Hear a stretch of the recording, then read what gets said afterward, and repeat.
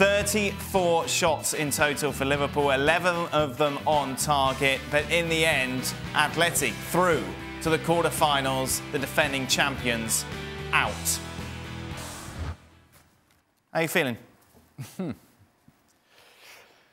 you know what? If, if anybody ever questioned why you spend 80 million on a goalkeeper, you just saw it tonight. And I'll tell you what, this is not the first time in recent years that this has cost Liverpool. Yeah. Two years ago in the final, Karius cost them a Champions League. Uh, they did win it last year because in the final, Alisson played a major part in that. Tonight, Liverpool lost because of a goalkeeper. Because of a goalkeeper.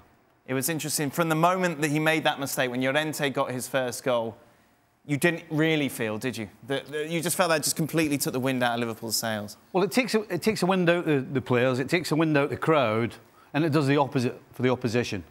It just fires them up. All of a sudden, they've got a hold of something, and and yes, they got numbers behind the ball, but you can't say they defended particularly well because at the end of the day, Oblak was absolutely outstanding.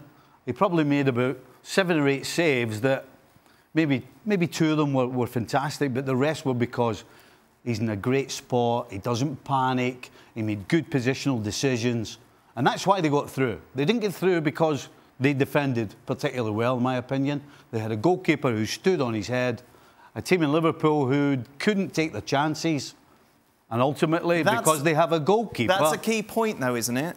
Yes. That's the key point.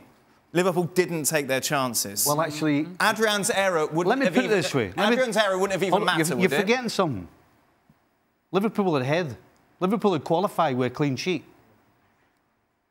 No, they've already gone to penalties.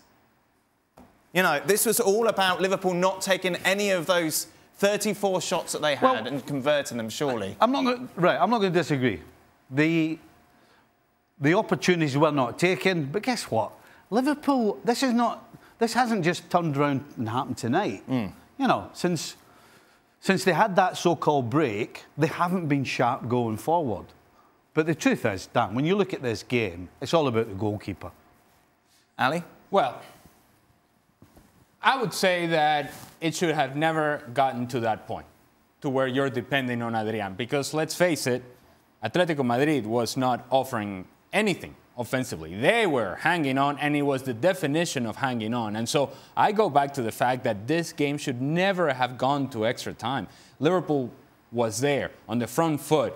It was maybe a period of maybe five to 10 minutes in the first half where you maybe thought, well, look at Atletico Madrid knocking the ball around, actually creating, creating chances themselves. But after that, it was all Liverpool all night. And so for me, while it is easy to point the finger at Adrian and obvious and correct to point the finger at Adrian, I think you first point the finger at the fact that this game should never have gone to extra time. You first address the fact that Liverpool had chance after chance after chance. And if there's anything that also gives life to another team, is the fact that you keep giving opportunities away. And then you get that feeling as a Liverpool player. It's like, is this one of those nights? And you're an Atletico Madrid player sitting there saying, wait a minute. Are we really going to pull this off? We're going to hang on. We feel strong about ourselves. And then, of course, the mistake happens by Adrian. And then from there, Atletico Madrid took off. For me, it's a self fulfilling prophecy. Coming into this match, the whole conversation was, well, are they going to be able to cope if they don't have uh, Alisson in goal? And they don't have Alisson. They don't have Alisson. They don't have Alisson. Eventually, Adrian is put in a position where he makes a mistake, Liverpool are out, and then you say, well, it's Adrian. I think it goes deeper than that. This team should have won the game in regular time. Liverpool were two. Have I missed something here? Liverpool were two 0 up in the, in the tie in, go- in extra time. Mm -hmm. Yeah, for well, 2 they're minutes. through. If they don't lose a goal, they're through. But so, they- so, so, yes, yes, they could have finished it off earlier, but the fact is, Should have. They lost the game because of the goalie. But you could also say if Robertson scores that header instead of hitting the crossbar, if Salah does better in front of goal, then as Ali mentioned, we wouldn't even be in extra time. We wouldn't be having this conversation. There were multiple chances. They're chances. through. Dan, they're through at 2 0. I know I- we keep going back to the same thing. They're through at 2 0. Without the goalkeeper giving the first goal away, Liverpool go through. Real, eh, Atletico Madrid, other than the, f- the first minute of the game, never looked like scoring, never got near the goal.